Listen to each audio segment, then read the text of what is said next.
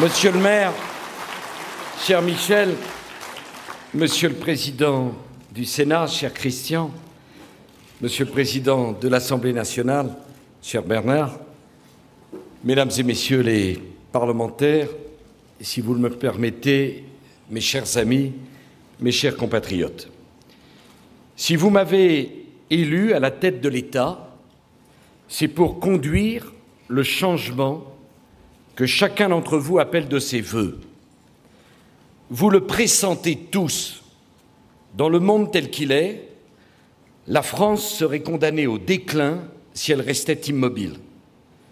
Nous avons tous au fond de nous la conviction que la France a déjà trop attendu, qu'il y a urgence, que ça ne peut plus attendre, que les réformes ne peuvent plus attendre. Mais quand je parle des réformes, je ne parle pas seulement de quelques réformes techniques, je ne parle pas seulement de quelques changements dans la fiscalité, dans les prestations sociales. Je ne parle pas non plus d'une politique de la table rase. Je ne parle pas d'une politique qui voudrait faire comme si la France était un pays neuf, sans histoire, sans mémoire, sans héritage. Non, je, je parle de cette profonde réforme intellectuelle et morale que la France a toujours su accomplir quand elle sentait que son destin lui échappait. Je pense, mes chers amis, à cette profonde rupture avec les mentalités, les routines, les comportements du passé qui rendent si nécessaires les changements d'époque. Oui, je pense à la remise en cause des rentes de situation, des privilèges indus, des conservatismes qui bloquent l'élan de la société vers l'avenir. C'est dans les moments où tout doit changer, sous peine du plus grand péril, que les institutions se révèlent alors pour ce qu'elles sont. C'est dans ces instants cruciaux où leur rôle est décisif que les institutions expriment leur vérité ultime. Car nos institutions, ce sont les points fixes des sociétés humaines. Les institutions, ce sont les règles qui sont connues par avance, qui permettent à chacun d'entre vous de savoir raisonnablement ce que vous pouvez attendre de tous les autres. Les institutions, c'est tout ce qui fait que la société ne marche pas au hasard. Les institutions, c'est le pont entre le passé et l'avenir. Les institutions, c'est tout ce qui permet que les énergies, les volontés, les imaginations d'un pays, d'une nation se complètent et s'additionnent au lieu de se disperser et de se contrarier. Les institutions, elles sont la tentative, toujours imparfaite, toujours inachevée, toujours recommencée, de concilier le besoin éternel de l'ordre et la nécessité vitale du mouvement, pas l'un sans l'autre. Les institutions sont la réponse que chaque peuple tente d'apporter pour lui-même à l'éternelle question du pouvoir. On mesure leur grandeur quand la mise à l'épreuve par les événements les plus dramatiques les pousse à aller jusqu'à l'extrême limite de leur logique. Dans les temps ordinaires, ceux des routines et des habitudes, on peine à discerner l'importance de leur rôle.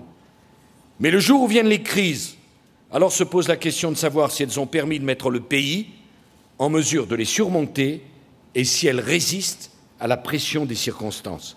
C'est mon devoir de président de la République d'évoquer ces questions.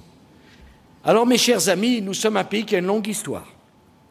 Les terribles défaillances qui ont eu des conséquences si tragiques entre 1914 et 1917 avaient des causes plus lointaines et plus profondes que les erreurs ponctuelles du commandement militaire. Elles provenaient des vices de fonctionnement d'un régime depuis longtemps organisé pour que nul ne puisse réellement gouverner. Et il aura fallu l'autorité indomptable et républicaine de Clémenceau en 1917 pour que la France fût sauvée. En 1940, dans cette région, les mêmes causes produisent les mêmes effets. Et là encore, qu'il me soit permis de le dire, tout venait du régime. Les fautes mêmes du commandement militaire n'étaient pas séparables d'un système qui avait produit des doctrines absurdes et des chefs militaires et politiques à ce point dépassés par les événements qu'il n'avait rien vu venir, qu'il n'avait pas su prendre à temps la mesure du danger, ni imaginer les réponses qui auraient pu le conjurer. Le régime politique avait conduit à l'impuissance tous ceux qui avaient parfaitement compris la montée des périls et qui avaient cherché dans tout ce qu'ils faisaient à provoquer une prise de conscience salitaire. Mandel, De Gaulle, Reynaud ont tout essayé. Aucun n'a été en mesure de faire partager ses vues. Pourquoi? Parce que le régime politique d'alors était ainsi fait qu'il excluait toutes les intelligences lucides, tous les esprits visionnaires et tous les grands caractères. Le régime d'alors était ainsi fait que toutes les volontés françaises se trouvaient broyées et que l'impuissance était la règle. Plus encore qu'à l'impréparation d'une armée qui n'avait pas saisi les ressorts de la guerre moderne. Le désastre de 1940 fut imputable au régime qui, depuis longtemps, en avait préparé les conditions. Le général de Gaulle en avait acquis cette conviction que toute l'histoire des peuples enseigne et qu'on a tendance à oublier dès que les crises sont passées, que la France a d'abord besoin d'être gouvernée. je lance cette remarque à tous ceux qui me demandent si j'en fais trop. La France a besoin d'être gouvernée. Le général de Gaulle avait la conviction que la France a besoin d'institutions qui soutiennent la volonté politique, qui renforcent l'autorité de l'État. Le général de Gaulle avait la conviction que tout ce qui ruine l'autorité de l'État, qui étouffe la volonté politique, qui nuit à la continuité de l'effort, fait courir à notre pays un danger mortel. Oui, cher Michel, en 1946, le général de Gaulle était ici, à Épinal, et il avait déclaré quelque chose qui m'a beaucoup touché et qui a compté pour moi. Il faut que le chef de l'État en soit un. Il faut que le gouvernement en soit un. Il faut que le Parlement en soit un. Ainsi parlait le général de Gaulle. Je veux m'inscrire dans cette tradition gaulliste qui a donné à la France les meilleures institutions qu'elle ait jamais connues.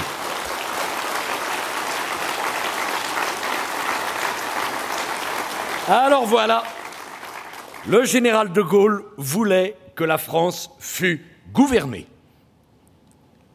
Il voulait que la France tirât les leçons de son histoire et qu'elle se souvienne que l'absence si durable d'un véritable gouvernement avait conduit la France au précipice. Il ne fut pas entendu. Le régime des partis revint avec le régime d'assemblée. J'y reviendrai. La quatrième République ressuscita ce qu'il y avait de pire dans la troisième. Et on sait comment ça se termina. Derrière l'énergie française, qui accomplit en un temps record le miracle de la reconstruction, derrière la mise en place de ce nouveau contrat social que les hommes du Conseil national de la résistance avaient imaginé, derrière tant d'ardeur, tant de courage, tant de travail français, le régime armait la machine infernale qui pouvait, une fois de plus, placer le pays au bord du gouffre. Et 1958, ce fut une fois encore moins la défaillance des hommes que l'aboutissement de la longue crise institutionnelle qui n'avait pratiquement pas cessé depuis que la quatrième République avait commencé.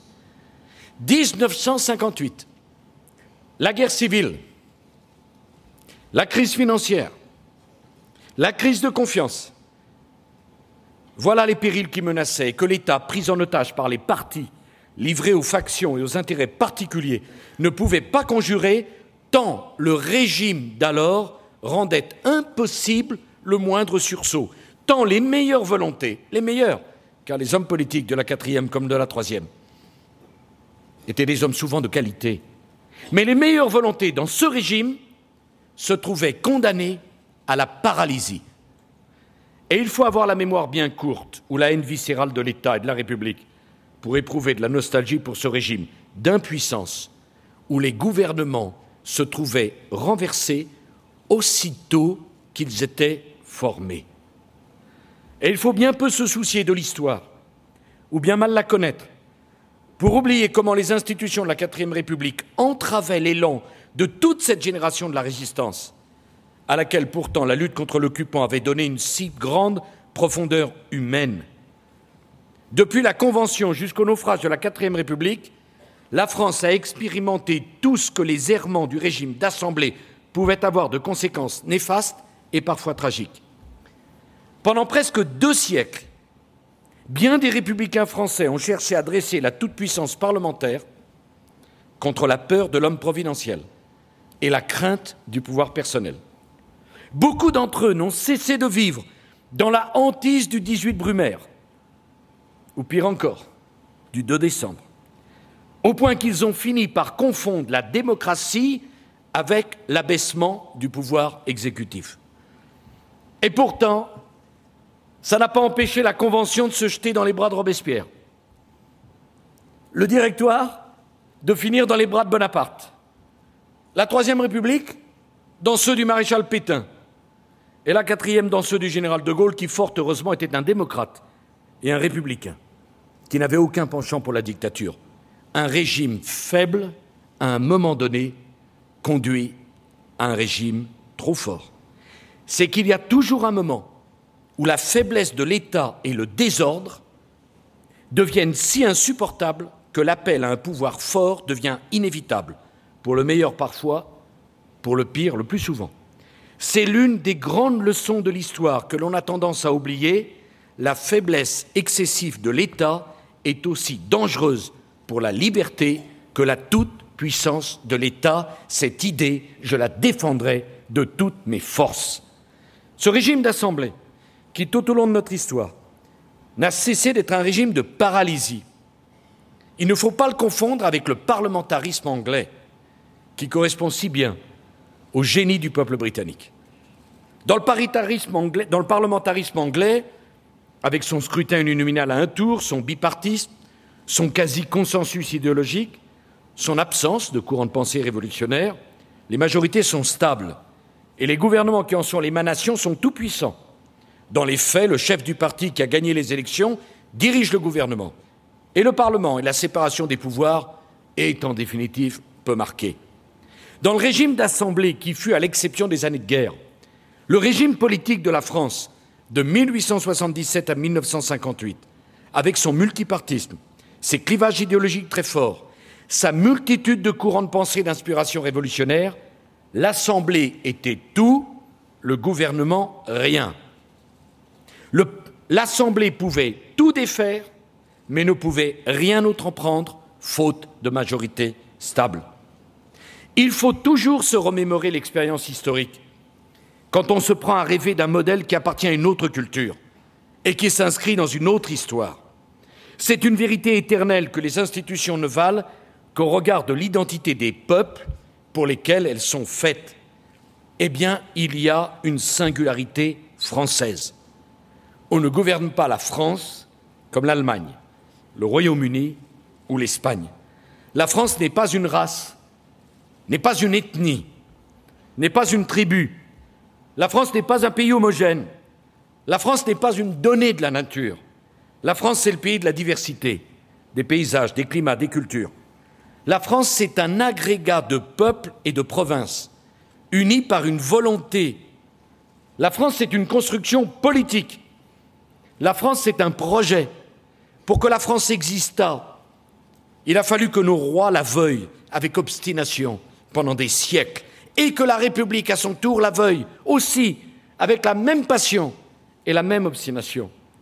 Il a fallu pendant mille ans, mille ans, travailler à unir mille petites patries pour en faire une grande.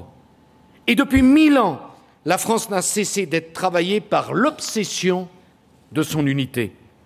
La France une et indivisible n'est pas une invention de la Révolution française. Ce n'est pas une invention du jacobinisme.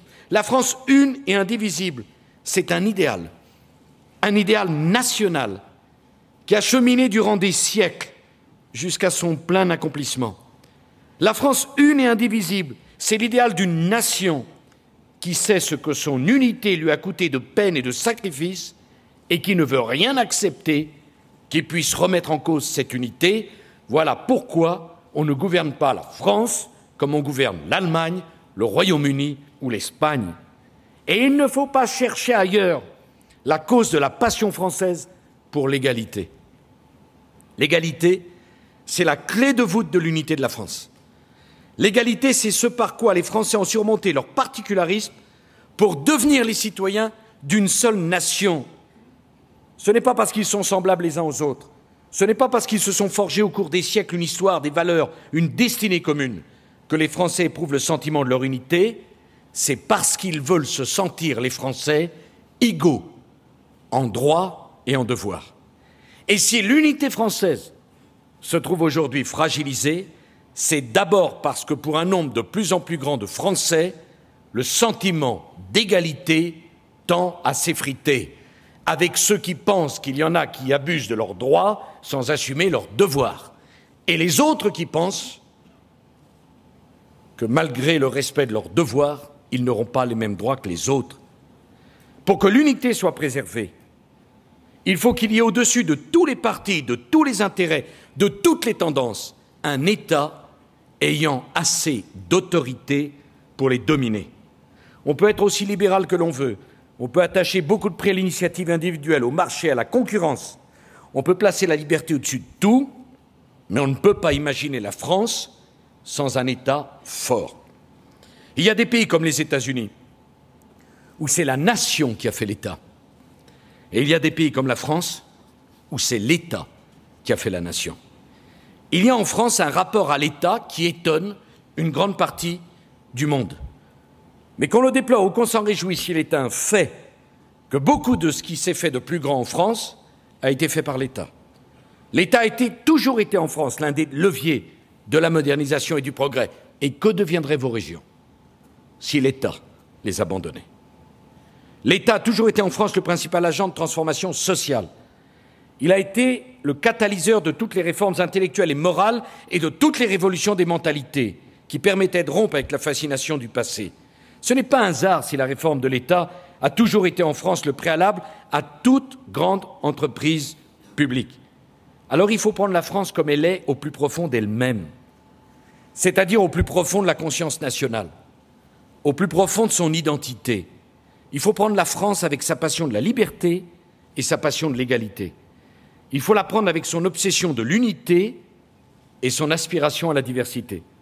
Il faut la prendre avec sa conception d'un État fort et d'une République indivisible. En France, la démocratie doit s'accorder avec cette conception particulière de la souveraineté une et indivisible comme la nation et comme la République, ce qui implique que l'État en soit un. Car si l'État en France doit obéir à la séparation des pouvoirs, il ne saurait être divisé en pouvoirs rivaux qui se combattent, qui s'affrontent, qui s'affaiblissent l'un l'autre, comme c'est le cas dans les États fédéraux, où la méfiance des pouvoirs locaux vis-à-vis du pouvoir central est constante, comme c'est le cas aussi dans les modèles les plus libéraux, où l'on ne croit qu'à la société civile, où l'idéal est celui de l'État minimum, où toute forme de pouvoir est considérée a priori comme une menace pour la liberté. En France, c'est l'État qui a donné la liberté et inventé les droits de l'homme. En France, l'État doit être assez fort pour dominer les vieilles propensions de notre nation à la division. En France, l'État doit être assez grand pour s'opposer aux vieux penchants qui ramènent sans arrêt les féodalités et les corporatismes. En France, l'État doit être un recours au-dessus des partis et au-dessus des factions. En France, l'État doit être laïque, c'est-à-dire également respectueux de toutes les religions et de toutes les croyances, et ceux qui ne respectent pas la laïcité à la française ne sont pas les bienvenus sur le territoire de la République française. C'est cela la France. En France, aucun corps intermédiaire, aussi légitime qu'il soit, ne peut faire écran entre le citoyen et l'État. En France, la République exige que chaque citoyen soit regardé dans ses rapports avec l'État sans considération de ses origines, de sa religion, de sa couleur ou de ses appartenances politiques. En France, les valeurs de la République et la conception de la nation créent un penchant pour la démocratie directe, plus marqué que dans les autres grandes démocraties. C'est l'identité de la France. C'est cela l'héritage de l'histoire de la France. La France n'est pas une page blanche. Elle ne part pas de rien à chaque génération. Alors c'est ce que fit le général de Gaulle avec la constitution de la Ve République, en renouant les fils de notre histoire qui s'étaient rompus et en démêlant ceux qui s'étaient emmêlés. La Troisième et la Quatrième République ont échoué parce qu'au fond, elles ne s'inscrivaient pas dans la continuité de la longue durée historique. Parce qu'au fond, elles excluaient, la Troisième et la Quatrième, que l'État pût être fort parce qu'elles excluaient que l'exécutif puisse jouer un rôle éminent, parce qu'elles étaient trop aux mains des partis, parce qu'elles étaient trop l'affaire des notables de la politique et pas assez l'affaire du peuple.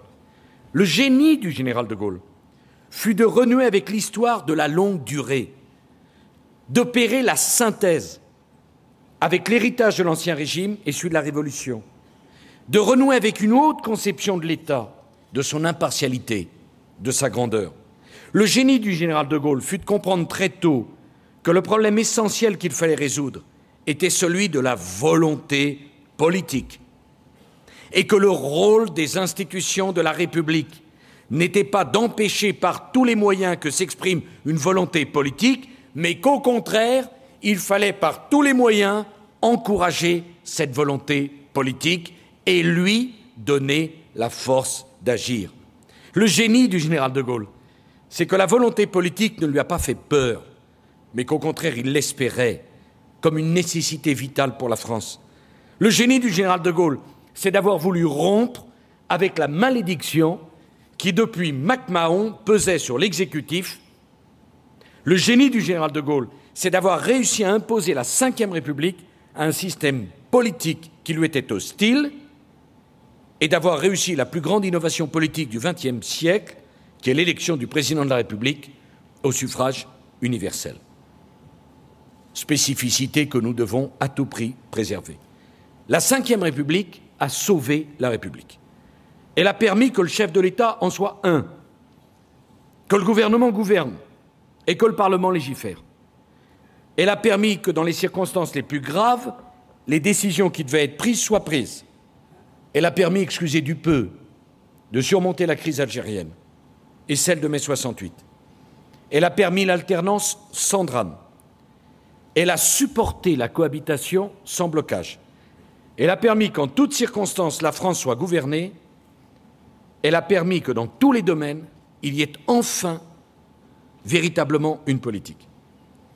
Et si depuis 25 ans, il y a des changements qui n'ont pas été faits, ce n'est pas comme auparavant parce que les institutions empêchent les hommes de qualité d'agir, ce ne sont pas les institutions qui sont en cause, ce sont les idées, les comportements, les pratiques, les actes. La Ve République a donné à la République pour la première fois dans notre histoire, la première, la stabilité gouvernementale. Ce n'est pas rien. Il ne faut donc y toucher qu'avec beaucoup de précautions même si cette stabilité qu'ont si longtemps espéré tous ceux que désolait l'impuissance de l'État a été payée, je prends mes responsabilités, d'un déséquilibre parfois excessif au profit du pouvoir exécutif et au détriment du pouvoir législatif.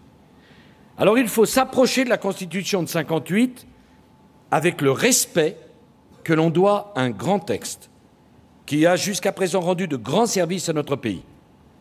Je ne suis pas sûr d'ailleurs que dans le passé, on n'ait pas déjà pris trop de liberté avec notre Constitution sans en mesurer et en peser toutes les conséquences. Je l'ai dit au cours de la campagne présidentielle, je n'ajouterai pas l'incertitude institutionnelle à la crise identitaire et sociale que traverse notre pays.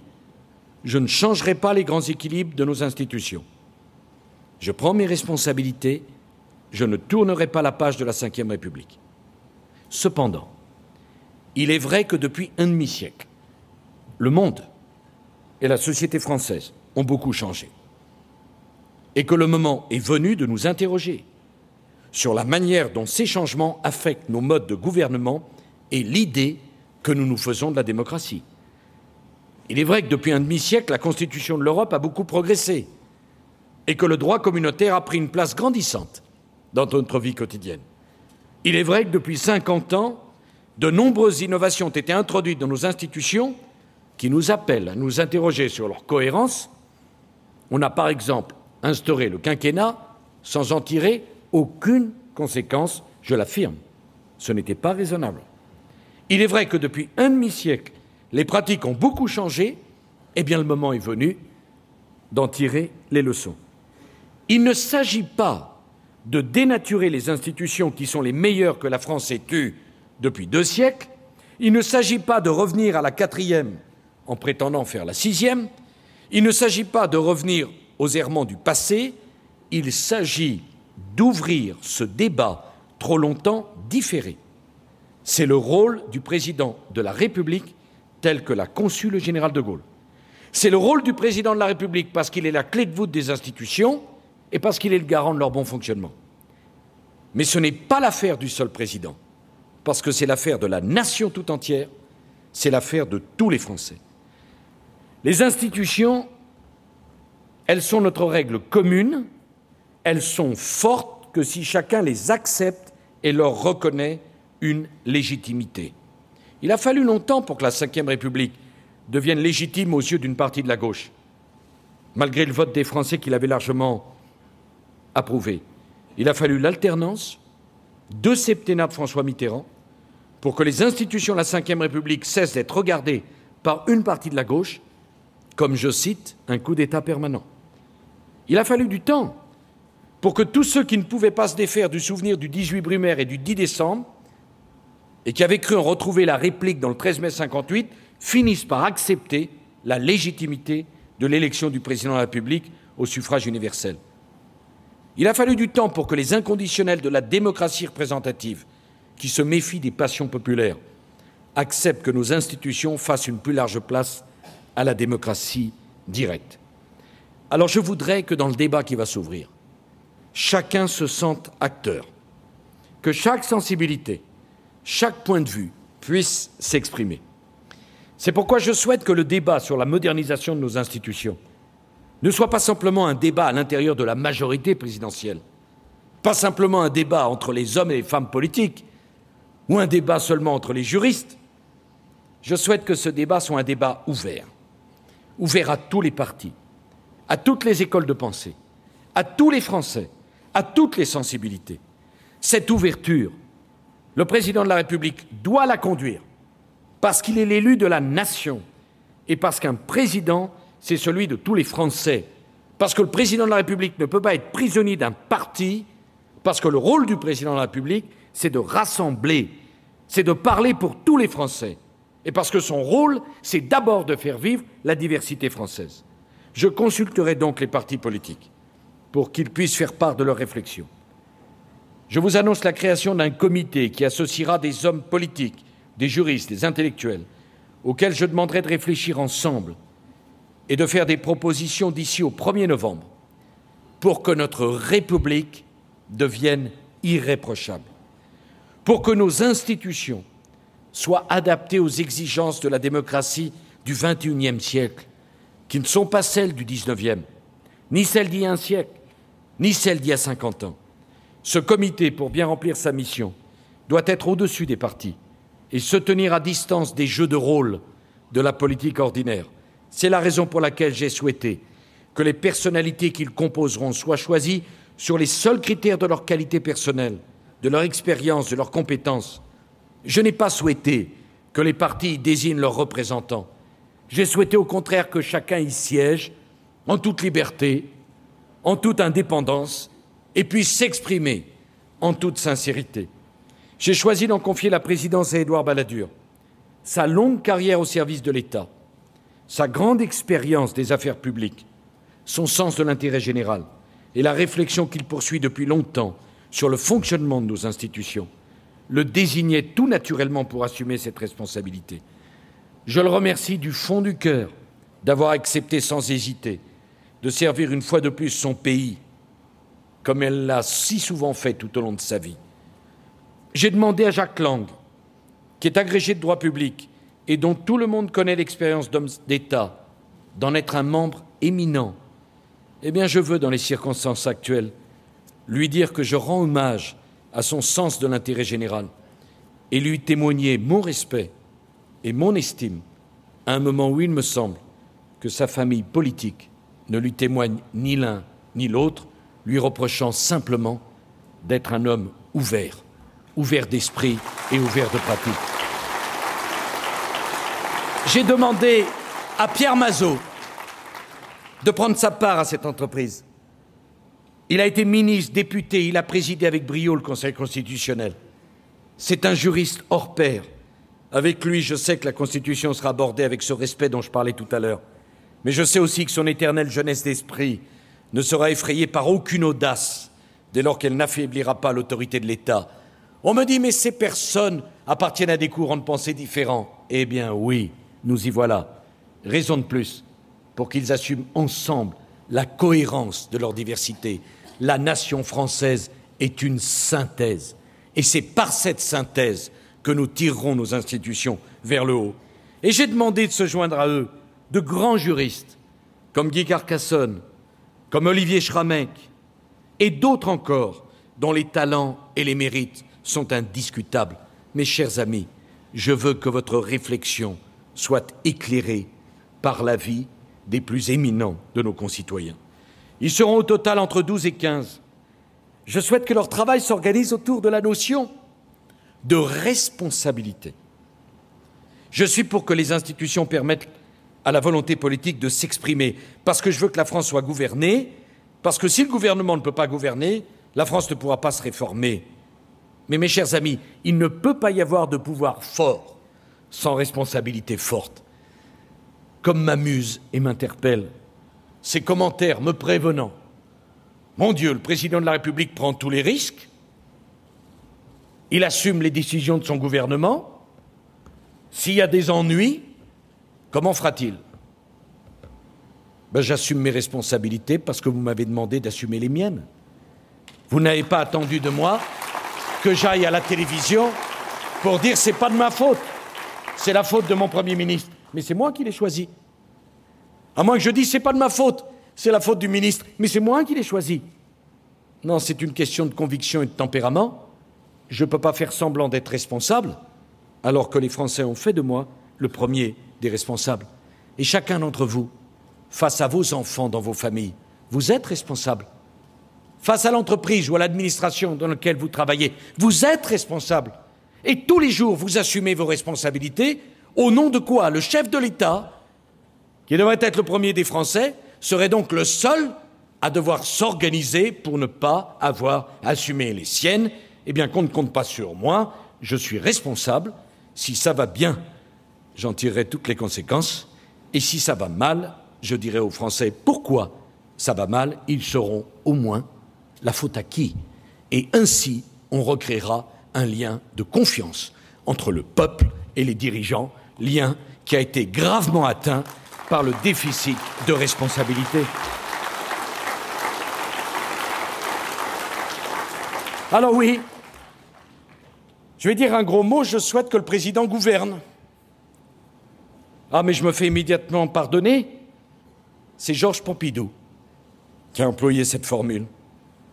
Mais je souhaite que dès lors que le président gouverne, il soit amené à rendre davantage de comptes je souhaite donc que soit étudiée la possibilité que le président de la République puisse s'exprimer au moins une fois par an devant le Parlement pour expliquer son action et pour rendre compte de ses résultats. Même s'il ne peut y avoir débat entre le président de la République et la représentation nationale, même s'il n'y a pas juridiquement de mise en jeu de la responsabilité, tout le monde sent bien que ce serait un engagement fort et la mise en jeu d'une forme de responsabilité intellectuelle et j'ose le mot morale qui ne serait pas anodine et qui aurait forcément des conséquences politiques, sans que pour autant que la dignité de la fonction présidentielle et la fonction de recours qu'elle incarne soient le moins du monde remis en cause. Savez-vous que si le président de la République, quel qu'il soit, veut s'adresser au Parlement, il doit faire lire aujourd'hui un message par un tiers que les parlementaires écoutent sans broncher debout au XXIe siècle, peut-être faudra-t-il, avec l'accord de Christian Poncelet et de Bernard Accoyer et des parlementaires ainsi réunis, dépoussiérer cela. Dans le même esprit, je souhaite que soit examinée la question du nombre de mandats présidentiels. Faut-il les limiter à deux mandats successifs? Parce que moi, je pense que l'énergie que l'on met à durer, on ne la met pas à agir. Et moi, j'ai été élu pour agir, pas pour durer. Ou faut-il laisser les électeurs en décider? Je souhaite, sur un sujet très sensible, que le pouvoir de nomination du président de la République soit encadré pour que les postes de haute responsabilité, que la décision soit partagée avec le Parlement, non seulement parce qu'il est nécessaire de sortir de la République des connivences pour entrer dans la République des compétences, mais aussi parce que l'opposition ayant participé au contrôle des nominations, ayant eu son mot à dire sur la compétence des candidats et la pertinence de leur projet, on pourra peut-être espérer en finir avec cette valse des responsables à chaque alternance politique qui nuit tant à la continuité de l'action. Comment faut-il organiser ce contrôle? Mesdames et Messieurs les parlementaires, quel pouvoir donner au Parlement? Quel rôle peut-y jouer l'opposition? Eh bien, voici les questions auxquelles le comité et vous-même aurez à répondre. Mais ces questions en appellent immédiatement une autre. Je souhaite doter l'opposition d'un statut pour que l'opposition puisse mieux remplir son rôle dans une démocratie apaisée. De quels moyens, de quels droits doit-elle disposer l'opposition pour qu'elle soit en mesure, non pas d'empêcher la majorité et le gouvernement de gouverner, mais pour les mettre davantage en face de leurs responsabilités? Un gouvernement responsable, une opposition responsable, cela donne une république irréprochable.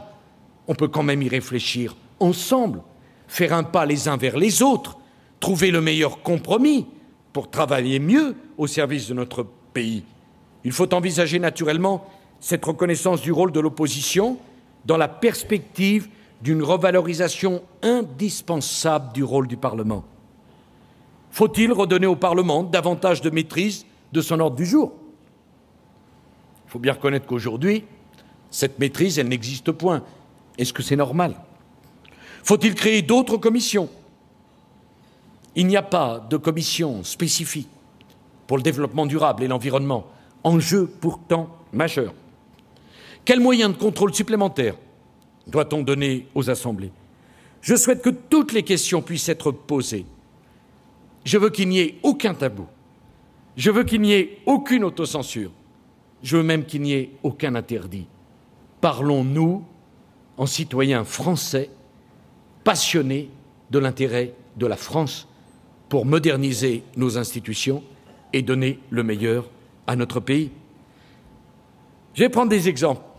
Je suis réservé quant à la suppression de l'article 49.3, qui permet au gouvernement de faire adopter un texte quand il n'y a pas de majorité pour voter la censure. Sa suppression, sans doute, modifierait profondément les équilibres de la Ve République. Mais je suis bien obligé de reconnaître que l'utilisation du 49.3 a toujours suscité des débats, ces débats n'ont jamais été conduits à leur terme, eh bien je veux qu'on aille jusqu'au bout de ce débat. Il ne faut pas avoir peur de discuter du 49.3, mais je souhaite également qu'on n'ait pas crainte de discuter de l'article 16. Je ne crois pas qu'il soit pertinent de le supprimer, sous le seul prétexte qu'il n'a pas servi depuis longtemps, tant l'histoire a montré qu'aucun pays n'était jamais à l'abri de circonstances exceptionnelles.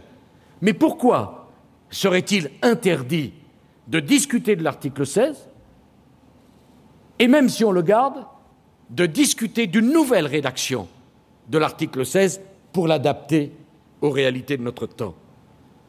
J'ai vu qu'il y avait un débat sur le rôle du Premier ministre. Il est aussi ancien que celui de la Ve République. Eh bien, prenons ce débat à bras le corps au lieu de l'éluder. Il y a un débat sur l'étendue du pouvoir du président de la République. Eh bien, mettons le sujet sur la table et je prendrai des initiatives dans quelques jours pour que le budget de l'Élysée et de la présidence de la République obéisse à des conditions de transparence indispensables dans notre pays et je demanderai au président de la Cour des comptes de contrôler le budget de la présidence de la République, ce qui n'a jamais été fait jusqu'à présent.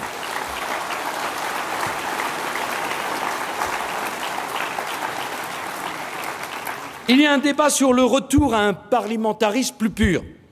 Je n'y suis pour ma part pas favorable. Mais ce n'est pas une raison pour qu'on n'en parle pas et qu'on n'aille pas jusqu'au bout. Il y a des voix qui s'élèvent pour dire que la logique du quinquennat oblige à aller vers un régime présidentiel où la séparation des pouvoirs est totale. Moi, je crois que la France n'est pas prête à cette évolution et que les conditions ne sont pas réunies pour qu'un tel système fonctionne correctement. Mais pourquoi ne pas échanger sur ce sujet dont j'admets bien volontiers qu'il se pose maintenant qu'il y a le quinquennat. Il y a une polémique récurrente sur l'indépendance de la justice. Il y a un débat pour savoir si la justice, accrochez-vous, doit être une simple autorité ou un pouvoir, au même titre que l'exécutif ou le législatif.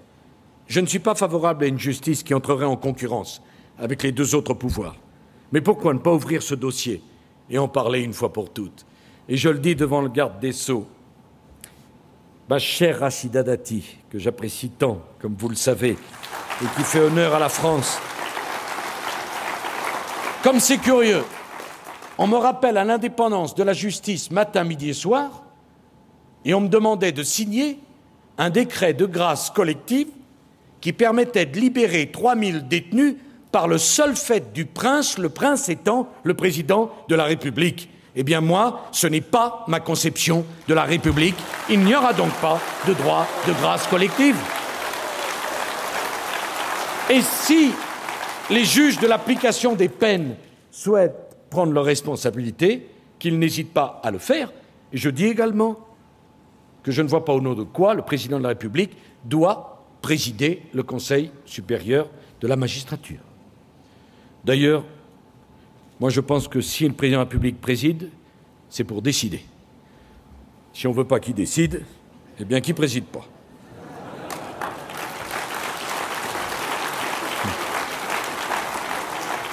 Non, ce n'était pas dans le texte, mais ça m'a fait très plaisir de le dire. Alors, il y a un paradoxe dans le fait que les citoyens français puissent contester les lois françaises devant les juridictions européennes mais ne puissent pas contester leur constitutionnalité devant les tribunaux français. Et extraordinaire. Certains pensent que cette faculté devrait être reconnue aux citoyens de notre pays et que ce serait un progrès pour les libertés.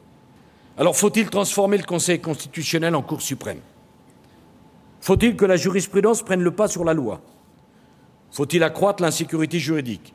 Je ne suis pas favorable à la judiciarisation de la société. Je ne suis pas favorable à ce que le juge prenne le pas sur le législateur. Ce serait une rupture profonde avec notre modèle républicain. Mais pourquoi ne pas examiner les termes de ce débat, puisqu'il existe Et puisqu'il est sur la table, allons jusqu'au bout de sa logique, présentons les alternatives et choisissons une bonne fois pour toutes. Il y a un débat sur la représentativité du Parlement, et j'ose le mot, sur la proportionnelle. Moi, je suis pour le scrutin majoritaire, qui permet de dégager des majorités stables pour gouverner.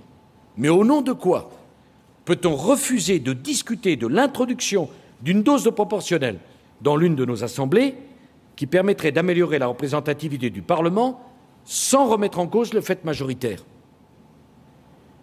Il y a un vieux débat, cher Christian, sur le rôle du Sénat. Permettez-moi de vous dire que ce débat qui va et vient, c'est le général de Gaulle lui-même qui l'a ouvert en 1969. Pourquoi nous interdirions-nous de reprendre ce débat? Pourquoi refuserions-nous d'examiner dans quelles conditions le Sénat pourrait mieux refléter la diversité française qui a besoin aujourd'hui d'être davantage présente dans les institutions de la République? Parlons-en. Moi, vous l'avez compris, je souhaite que l'essentiel soit mis sur la table. Et je n'ai pas voulu apporter des réponses à toutes ces questions. Je veux ouvrir un débat, pas le refermer. Je prendrai mes responsabilités le moment venu. Je souhaite que l'on examine concrètement tous les moyens qui permettront à notre République et à notre démocratie de progresser. J'ai une conviction. Il ne faut jamais fuir le débat. Il ne faut jamais en avoir peur. Il y a 61 ans, ici même, le général de Gaulle avait déclaré en conclusion de son discours sur les institutions, je cite, Ces convictions n'ont pas de parti. Ces convictions ne sont ni de gauche ni de droite. Elles n'ont qu'un seul objet, d'être utiles au pays. Ils le savent bien, et elles le savent bien, tous les hommes et toutes les femmes de chez nous, dont nous avons eu souvent l'honneur et le réconfort de toucher le cœur et d'atteindre l'esprit en leur demandant de se joindre à nous pour servir la France. Ces phrases n'ont pas pris une ride. Il s'agit bien de la même chose. Et le matin, je me dois de penser, en commençant ma journée de travail, aux quelques 21 millions de Français qui ont porté leur suffrage sur ma candidature. Mais je n'ai pas le droit d'oublier les 17 millions qui ont choisi une autre candidate et qui ne sont pas moins français que les autres, et dont je ne suis pas moins le président que les autres. Je dois faire la synthèse, donner une cohérence pendant la durée de mon mandat aux 22 millions et aux 17 millions. Je n'ai pas le droit d'abandonner une partie de la France parce que cette partie de la France n'a pas fait le choix de ma candidature avant que je sois élu. De la même façon, les élus qui sont ici, y a-t-il un maire ou un président d'assemblée départementale qui ne travaille que pour ceux qui ont voté dans son canton ou dans sa commune pour lui? Et mon cher Michel, ici, à Épinal, tu ne fais pas la différence entre celui qui a voté et celui qui n'a pas voté, tu prends les Spinaliens pour ce qu'ils sont, c'est-à-dire une collectivité de femmes et d'hommes à égalité de droits et de devoirs. Mais c'est le devoir du président de la République d'agir ainsi, et ce qui m'étonne, c'est qu'on s'étonne des initiatives que je prenne pour associer le plus grand nombre à l'action de la présidence de la République française. C'est cela, la République irréprochable et la démocratie apaisée. Mes chers amis, on me dit, mais ça va trop vite. Ah, c'est quand même moins grave que quand ça va pas assez. Dis, vous en faites trop. Mais ça fait si longtemps qu'on n'en fait pas assez. La société est si complexe, et je vous demande de le comprendre, qu'on ne peut pas changer la fiscalité si on ne change pas la formation, qu'on ne peut pas changer l'université si on ne fait pas une véritable révolution de civilisation dans l'éducation nationale, qu'on ne peut pas essayer de remettre en valeur des idées si profondes que sont le travail et sa récompense, le mérite, l'effort, le respect, l'autorité, et en même temps ne pas penser aux institutions. Je veux justement remettre en mouvement l'ensemble de la France parce que tout se tient et que le premier problème de la France, c'est lui redonner de l'énergie afin qu'elle retrouve l'espoir. Le but ultime de l'action que je mène, c'est que chacun de vos enfants, c'est que dans chacune de vos familles, on se dise que demain pourrait être mieux qu'aujourd'hui, que chacun de nos jeunes se dise que s'il travaille dur, il pourra avoir un avenir meilleur, que chacune et ceux qui sont dans cette salle se disent que s'il travaille, il pourra assurer la promotion sociale de sa famille, il pourra vivre mieux. Le but de mon action, c'est que le travail soit valorisé, récompensé, que vous puissiez transmettre à vos enfants le fruit d'une vie de travail sans payer un impôt indu sur des successions que par ailleurs vous avez à de multiples reprises assumées. Je veux revaloriser le travail, récompenser le travail, et je veux par-dessus tout que vous vous disiez qu'il n'y a pas de fatalité, que de nouveau la politique peut agir sur votre vie quotidienne, qu'on peut changer les choses, et que celui qui ne peut rien, c'est celui qui ne veut rien. Alors si celui qui ne veut rien ne peut rien, peut-être que ceux qui veulent tout auront quelque chose. Et qu'est-ce que nous voulons? Que vous soyez de nouveau fiers de votre pays, fiers de votre nation fier de votre patrie, fier de la France. Alors, comme le général de Gaulle l'a dit ici, qu'il me soit permis de vous dire du fond du cœur, vive la République et vive la France.